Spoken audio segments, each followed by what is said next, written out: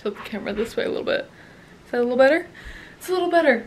Hi guys, welcome back to my channel. Today we're doing something revolutionary, something new, fresh, something that's never been done before. We're letting the two we're letting the TBR jar jar in question pick my TBR for the month of April.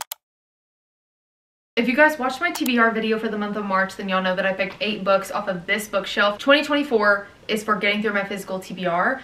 So the eight books that I picked last month off of there with the numbers that are in here, I had to read them. I had to read them.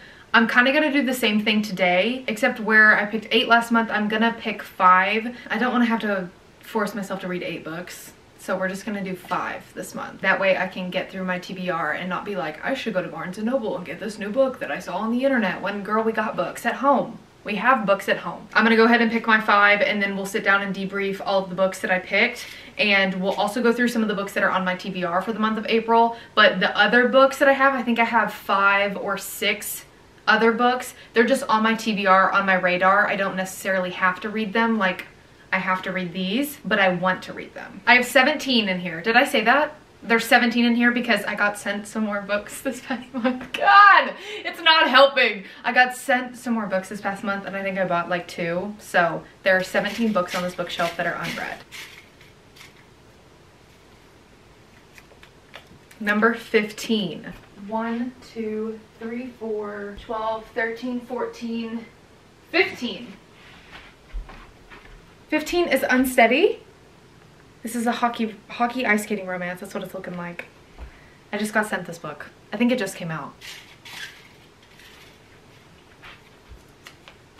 Number six. One, two, three, four, five, six. Number six is The Heaven and Earth grocery store. This is not the typical book that I read. I don't even know what genre this book is. I got sent this book by Amazon at the end of this past year because it was one of the best books of 2023. I have a feeling I might DNF it because I just don't think it's going to be my style. But we'll see. I'm at least going to give it a shot. Number three. Nine.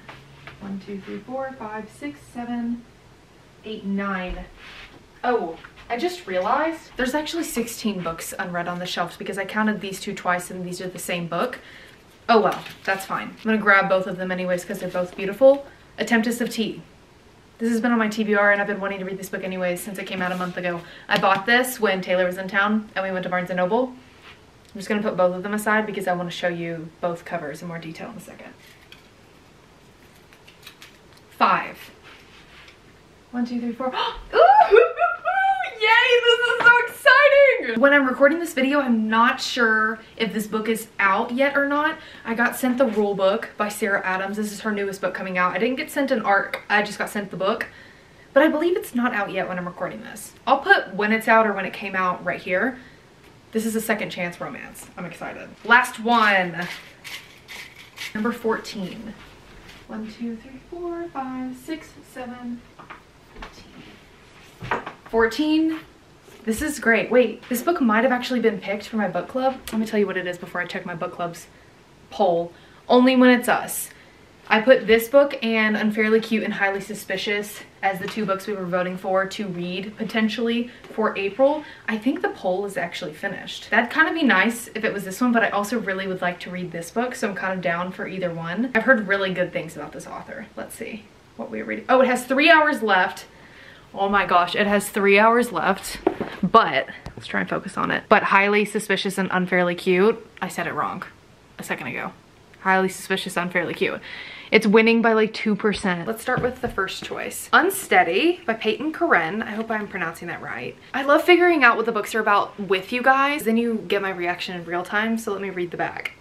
Reese, I love the name Reese, and it's spelled R-H-Y-S. It's spelled R-H-Y-S. Rhys is desperate to feel anything. Sadie wants to stop feeling so much. He's a hockey captain! Ah! okay, okay, okay.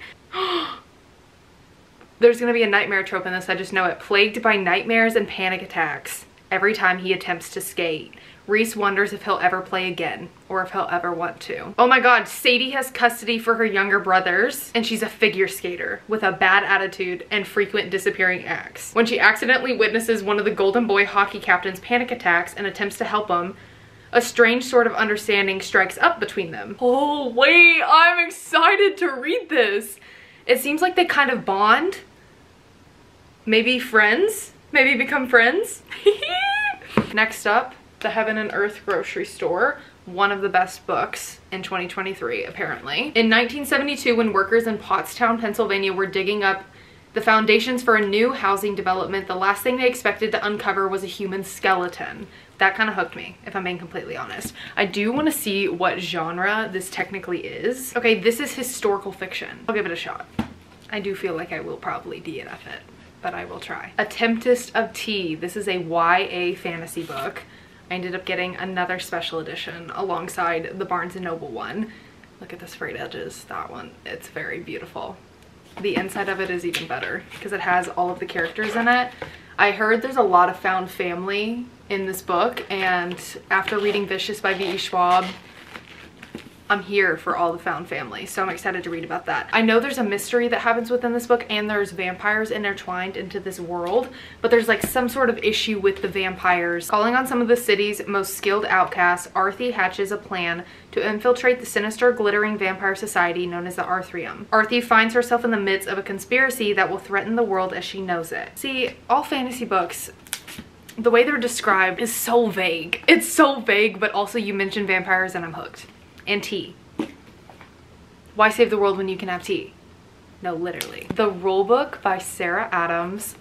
I just recognized that this has a shiny cover. How did I not recognize that before? This is a second chance sports romance. I have really been loving tension over spice and Sarah Adams is one of those authors that is really good about writing tension and having no spice in her books and I'm here for that. I really loved Practice Makes Perfect. I heard this is even better. Nora Mackenzie's entire career lies in the hands of famous NFL tight end Derek Pender, who happens to be her extremely hot college ex-boyfriend. But then a wild night in Vegas leads to Nora and Derek in bed the next morning married. Oh no! Lastly, Only When It's Us. This book has been advertised as enemies to lovers. If you've read this, I want to know if it's actually enemies to lovers or if it's just dislike to lovers because when I think enemies to lovers, I think you're out to get each other and it's cutthroat. But with contemporary romances, usually that's not the case and they normally just are annoyed with each other and just dislike each other. So were they like cutthroat in this book or not? I'm assuming they're not because the vibes I'm getting based on reading the back not giving cutthroat, which is fine. I love a good dislike to lovers too. Forced to work together on their final project, Willa and Ryder begin a game of pranks and practical jokes, both determined to emerge as a champion, but once they catch unexpected feeling, victory begins to mean something else, winning each other's hearts. Some of the other books that are on my TBR for the month of April, a lot of them are new releases. The first one being Wild Love by Elsie Silver, which I've talked about so much. This one comes out on April 9th. It is a single dad frenemies to lovers. What are some of the other tropes? I'm not sure if this one is cowboy. I don't think this is cowboy. I think this follows Willa's brother, if I'm not mistaken. This is one of my most anticipated reads for the year. Elsie Silver can do no wrong. I didn't get an arc of it. Everybody that got an arc said it was so good, if not her best. Which that is a bold thing to say because Heartless and Reckless exist. The Familiar by Leigh Bardugo. This is a Spanish Golden Age book and that's all I know about it and that it's by Leigh. And I do wish that we would be getting the third Alex Stern book, Ninth House Hellbent. We need the third one in that trilogy, but she ended up coming out with this one first, which is totally fine. I feel like I'm gonna love it. I don't know anything about it, and I think I prefer to go into this one blind because that's how I went into Ninth House. The only thing I knew about that book was that it was Dark Academia. The only thing I know about this one is that it kind of has Spanish Golden Age tied into it in some way. I don't know. We will see. But I'd love to read it, and I can't wait. Just for the Summer by Abby Jimenez. I have heard this is her best. I've heard this is her best. I've heard it's so good. I also heard the FMC in this book has, I think she has avoidant attachment style, somewhat, which I have. So that'll be very interesting to read about. yikes might be like punching me in the gut throughout the entire book. Abby Jimenez just knows how to write flirting. I really liked yours truly, the beginning of the Happily Ever After playlist, and I, if this is her best work, I have high hopes for it and I can't wait to read the flirting between the characters because again it's just so good. Seeing Red by, I gotta take my socks off. Seeing Red by Bailey Hannah. I read the first book in the Wells Ranch series I think earlier this year because someone recommended it to me because it kind of gave Elsie Silver vibes in the way that it was cowboy romance and I really liked it. I thought it was really fun. I think I gave it three and a half, 3.75 stars. Alive in Wells is the name of that first book. The FMC in the book was running away from her abusive ex-husband and the MMC of the book was like the owner of the ranch that she ended up working on. That is just, that is, oh, ah! The second book, Seeing Red, I don't even know what characters this would follow because I don't remember any of the side characters from that first one. This follows Cassidy and Chase Red Thompson. Red, that's such red. Oh, they have the tropes listed here.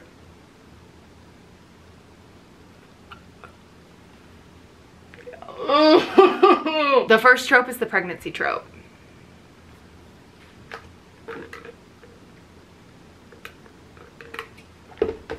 I'm a pregnancy trope lover. I am. Uh, sue me. One night together that they'll never talk about again until two pink lines threaten Cassidy's rulebook and both of their reputations. She doesn't want a relationship with the tough and tumble cowboy, but he knows he's not good enough for Wells Canyon sweetheart anyway. Oh my gosh, they become friends and co-parents, but lines start to blur. Of course they do! This one comes out on April 24th as well. The last two books that are on my TBR for the month of April are both by V.E. Schwab. I have Vengeance and then I also have A Darker Shade of Magic. I would love to read both of these. This is my library book as we know. I went and rechecked it out because I would love to finish up this duology. Duology. And then A Darker Shade of Magic. I own all three books in this series. They're in there. I'm really liking V.E. Schwab at the moment though, so I have a feeling after I finish this one, I'm gonna wanna start another and it will be A Darker Shade of Magic. A Darker Shade of Magic, I have no idea what that's about, but let's read about it together. You're like, Heather, you literally are a book creator or whatever and you can like barely explain books. Okay, I'm just here for the vibes.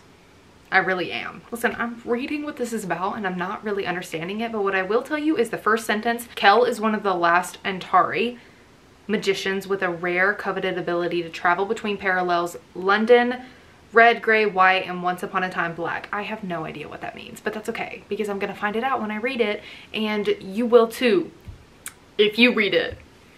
I'm just telling you what I wanna read. I don't know what it's about. Those are all the books that I am going to be reading or would love to read in the month of April. Thank you guys so much for watching today's video and I will see you guys next week. Bye!